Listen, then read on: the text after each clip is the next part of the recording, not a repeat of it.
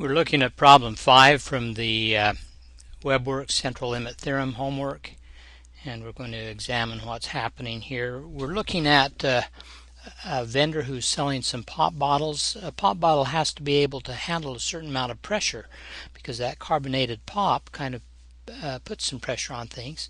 It needs to be able to handle at least 150 pounds per square inch, otherwise then the bottle could break a proposed bottle vendor claims that they're producing bottles that have a mean pressure of 157 psi and a standard deviation of 3 point, uh, of 3 psi. Uh, the bottler strikes an agreement with the vendor, decides to buy some some bottles, but he says that he's got to test the bottles first before he's going to pay for them. So they're going to test uh, uh,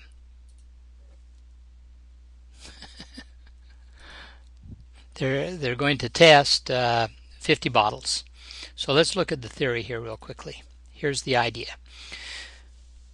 The guy who's selling the bottles claims that his bottles are normally distributed with the mean of 157 and a standard deviation of 3.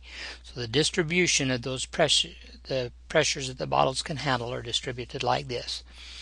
We're going to uh, come into this situation and uh, and take a sample. Oops, I didn't mean to do that. And and take a sample of. Uh, let me get back to my drawing pad. And take a sample of size 50. And then we look at the mean that we get from that sample. Now, what the problem says is that it gets one less than what the manufacturer said it was supposed to be. So our sample is right here at 156. That's the mean of our particular sample.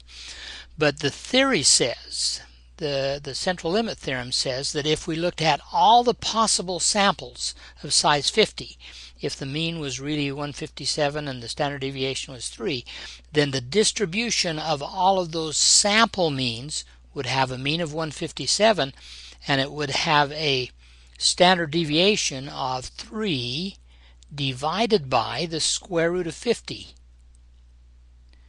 Now, what our first question is asking is how do you find this area to the left of 156? So we're looking for this red area over here. And of course, you all know this is a normal distribution. It's got a mean of 157 and a standard deviation of 3 divided by the square root of 25. So you know how to do that. Let's uh, just fire up R real quickly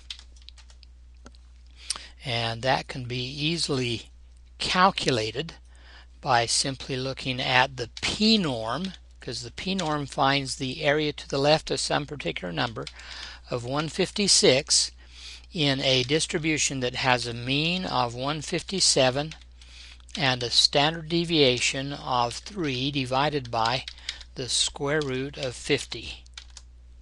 Okay,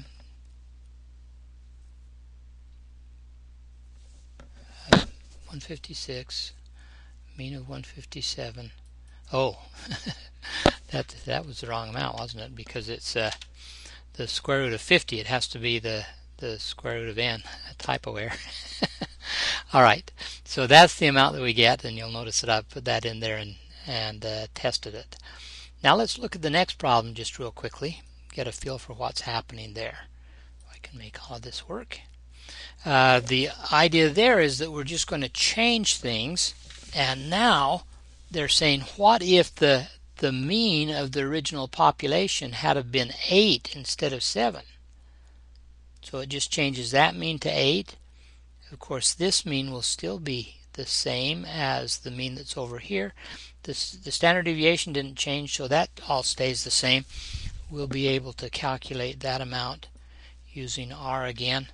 But the only thing that changed here is this mean changed to 158. Now, this E minus 6 means that this decimal point needed to be moved six places to the left. So that's going to be one, two, three, four, five zeros in the 1. See if, if the decimal place had been there and I moved it six places to the left, that would have been what it would be.